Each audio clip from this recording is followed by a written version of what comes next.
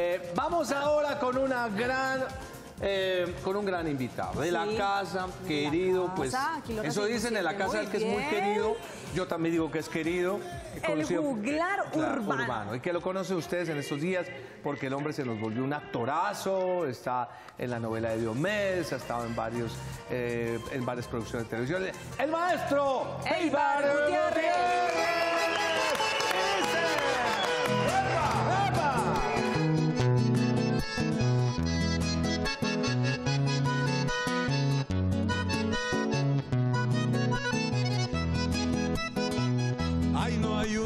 Fuerte que la que presiente y designa a Dios. Un cóndor herido que vuela afligido por un desamor.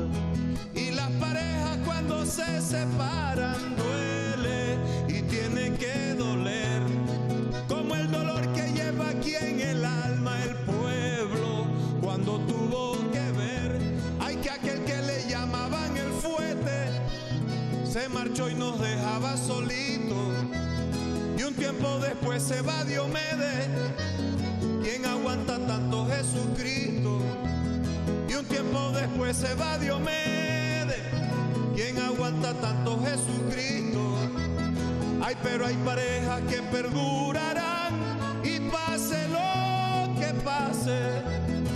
Hace unos días que fui a Valledupar, se escucha por todas partes la canción que hizo el cacique, esa que grabó al lado de Juancho,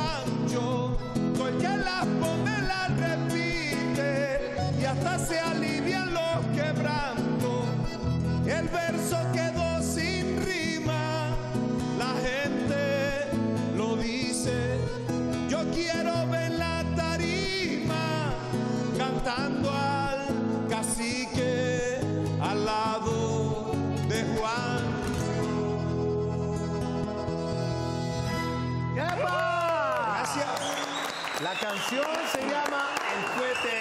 el cacique. Doctor Eibar, ¿qué hay? Nanchito querido, Moni. ¿Qué ha pasado, más? Me compañero? confirmaron anoche tarde que venía para acá. ¿Cómo así? ¿Cómo así? Sí, porque ustedes son muy difíciles, entonces No, todos los artistas ver, quieren ¿cómo que? estar aquí Sí. y llevamos tres meses tratando de estar aquí. no? ¿Cómo Pero, no, bonito? Pero, he estado grabando mucho eh, las novelas en Valledupar Sí. y anoche se cayó el plan de grabación y, ¿Y me eso qué pasó?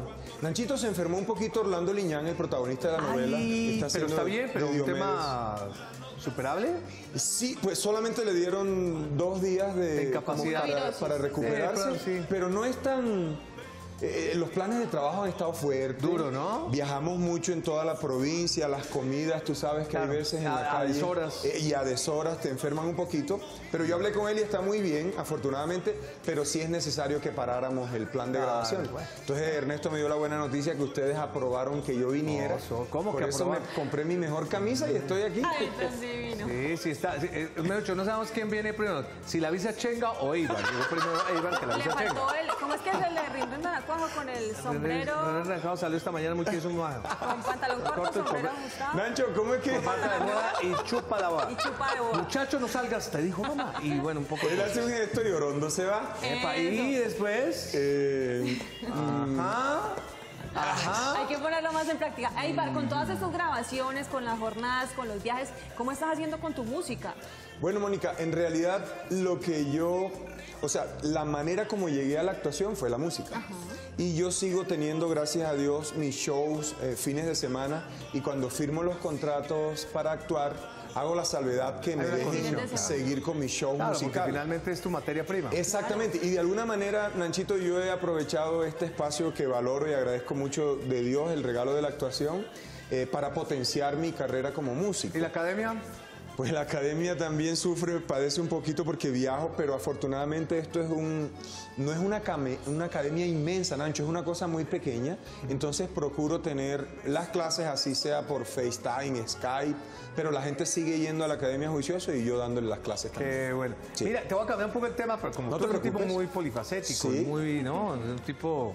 eh, ¿Cómo se dice en francés lo que Sí, explicaste ahorita? eh, no, una cosa es tete a tete, que es una cosa diferente. Tú eres un hombre, eh, no, no, en francés no tengo ni idea cómo se dirá, pero eres un, Eh, ¿Cómo? ¿De, de, arro- de Raboa eres tú me estás diciendo aquí. ¿De Raboa tengo, tengo aquí un traductor simultáneo. Pero, pero además la pronunciación es Pero perfecta. oiga, Mónica, de rabo. ¿Quién está hablando del rabo? Está hablando de Raboa. De- de- de- Mira, eh, 80 años cumplió o está cumpliendo hoy de fallecido. Adivina quién. El ma- no, no sé qué. Carlos Gardel. Ah, no, no sabía, no sabía. Sí, a ¿Te mí una vez me contaron que tú, tú cantaste tangos, es cierto. Es Se cantó un ex manager tuyo, no sé si será verdad, pero Carlos Gardel marcó la vida musical de mi viejo, de mi papá. así. Claro. Él oía mucho a Piero, a Carlos Gardel, Leodán, ¿te acuerdas? Por Eh, supuesto, entonces aquí lo hemos tenido en Sí, vivo y en directo. Al claro. maestro, yo también algún día lo pude ver hace poquito. Entonces marcó mucho la vida, pero tanto como que yo cante, no sé. O sea, se- algo, algo de Gardel, algo mira, un mira, por ejemplo, un tango. esta línea ¿Un tango así con melódica de un tango. A ver.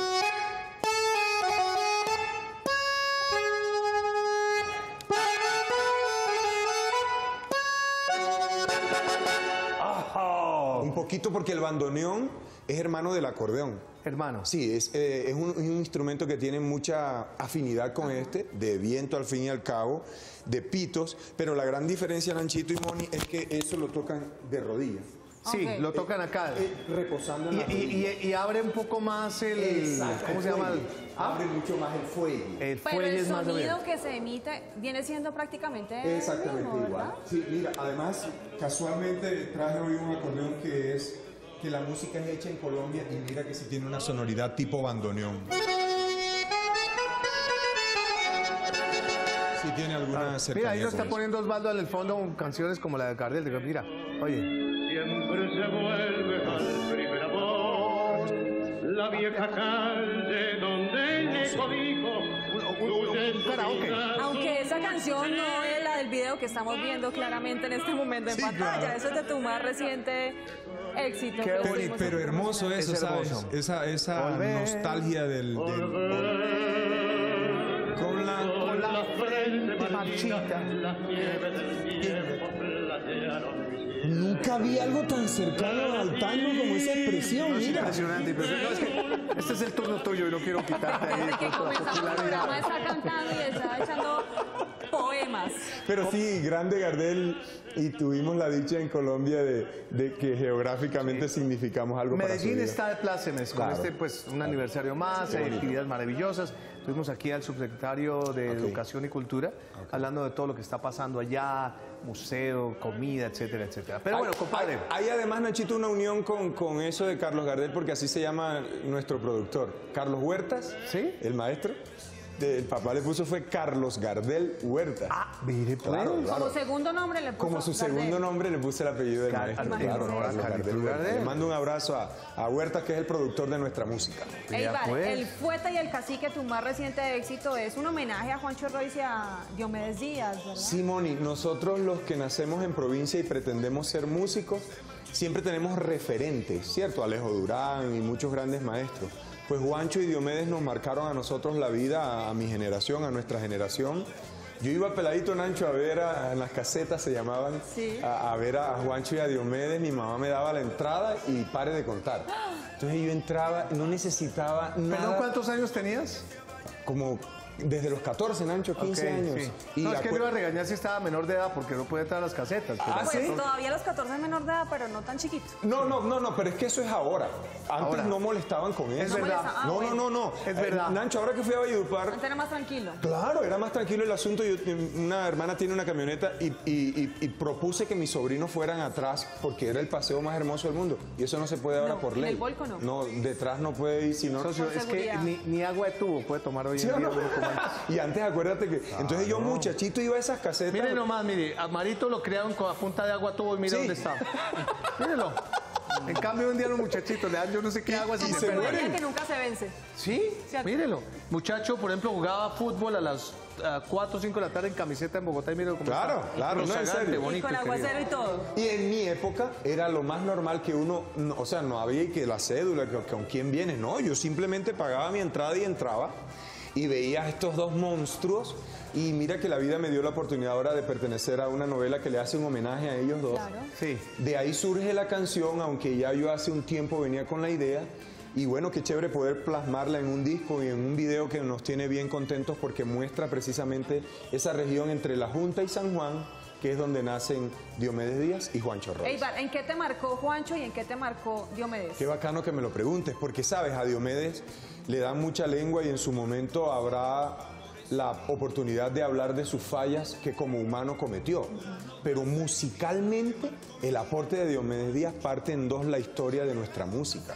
Un cantor campesino que hacía letras eh, referentes al amor, pero a- amarradas a la- al paisaje, a la geografía.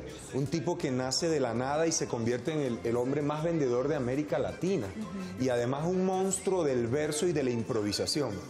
Y en el caso de Juancho Royce, antes de Juancho, los acordeoneros llegábamos a los estudios nerviosos de, de qué vamos a hacer. Juancho es el primero que utiliza muy bien todo esto software y todo este cuento de la grabación en favor de la música. Eh, un tipo además que creó un estilo que hoy por hoy sigue siendo ejemplo para todos nosotros. Oye, en el Festival Vallenato, y tú me perdonarás la ignorancia, no sé si lo hicieron este año. Ajá. Hay, hay un momento, hay un homenaje, hay una categoría, hay un referente de Diomedes Díaz en el Festival Vallenato o todavía no. Sí, Nancho, lo que hacen es, qué bacano, mira, lo que hacen es declarar un personaje del año. Ajá. Y el del año pasado fue el maestro Diomedes Díaz. Ok. Entonces, todos los que participábamos teníamos la obligación de cantar una canción del maestro Diomedes Díaz e interpretarla lo más fiel que sea a su ¿Y composición. cuál escogiste tú? Yo escogí Cariñito de mi vida, ¿te acuerdas? Pero hay muchas canciones, Moni, de Diomedes Díaz que marcaron a cada generación distinta. Oye, Bonita, La Reina, y cada quien tendrá una canción que marca su vida ah, con, con el referente de ¿Hay, Diomedes. hay, hay ya estatua o monumento de Diomedes en, Sí, en? Ancho está muy enteradito. Hay un monumento, creo que, que mide 11 metros de Diomedes Díaz, pero apenas lo están terminando Sí. para colocarlo en un lugar específico. En estos días, Hernán, mira cómo es la vida, tuve la oportunidad de ir a San Juan, Sí. el pueblo de Juancho Roy, a grabar el entierro de Juancho Ok. que es mi personaje en la telenovela. Y a él también le hicieron, la plaza se llama Juancho Roy y le están haciendo, le están haciendo su, monumento al maestro. Qué bueno, ¿no? Sí, chévere. Además que lo que tú decías, son parte de la historia de nuestro Sí. país, no solamente de tu región, del país entero. Sí, sí, yo Y- también creo lo y mismo. De Sudamérica. Bueno, pues eh, Evarito, son las 11.52. eh, nos encanta saber que tienes sonando muy bien el fuete y el cacique. Sí. ¿Presentaciones tuyas? Nacho, gracias a Dios, el cuento de las novelas nos ha abierto un mercado interesante. Voy a lanzar eh, esta canción, El Fuete y el Cacique, en julio, un domingo de julio, no tengo la fecha exacta, pero yo les aviso, ¿Y por qué domingo? porque va a ser un evento familiar. Ah. Entonces, realmente lo que queremos es que vaya, mira, la vida de estos maestros no, es como ahora, que hay target, el artista es de, de 20 en adelante, o de... No, Diomedes y Guancho marcaron desde el niñito, los has visto cantando sus canciones Sí, claro. y hasta gente mayor. Entonces queremos hacer un evento que va a ser un domingo en el que vaya el papá, la mamá, los niños, el abuelo. Va a ser eh, aquí en Bogotá y los voy a venir a invitar porque sí estoy muy interesado en, en verlos allá. Bueno, ¿cuál fue la canción que te, tocó interpretar de Diomedes, cariñito? En la que quieres que hagamos algo de Diomedes. Entonces Sí, cantémosle sí. tú y yo a Mónica, oye bonita, ¿te parece? Que me Eh, dijeron que tú te la sabes perfecto. Se la sabe, se sí, la sí sabe. se la sabe. Sí, sí. la Te- bueno, te- yo- ¿Cómo es que? Yo me hago al lado, pero a ti te la Yo voy a veré, Sí, yo veré. es una serenata voy para ti, cantándome. No, y, y es una serenata para ti. Ok, eso es ¿Vale? Mi.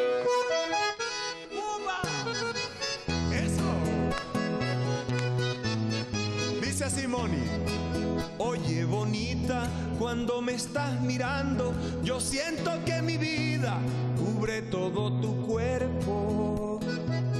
Ojo al doblaje. Vamos, Nancho. Con mucho gusto.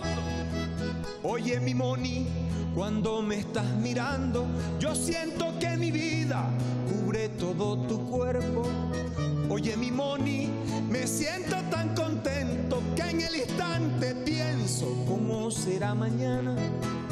Cuando te bese, totalmente confiado que si alguien está mirando, me comprende enseguida que tus ojos me dominan, que tu boca que tu cuerpo me enloquece, que cuando estemos juntos todo el mundo diga, caramba esos muchachos si se quieren. Para ti, Moni. Lo preparamos durante seis días, ¿cierto? Comenzamos la gira. Me fascinó Hermanito. la segunda voz que te hizo Hernán. ¿Era una segunda voz? Sí. Yo a veces no la escuchaba. No, eso fue un doblaje tremendo que hizo Hernán. Ivanito, papá querido, muchas gracias. Ve, ve a descansar. Muchas gracias. Socio, no lo, no lo salude, que es de su vida. Bien, bien, gracias. Bien millonarios, ¿no? Lo tenemos claro para este año, ¿no? Ahí vamos, ahí No, vamos. no, Junior, Junior de Barranquilla.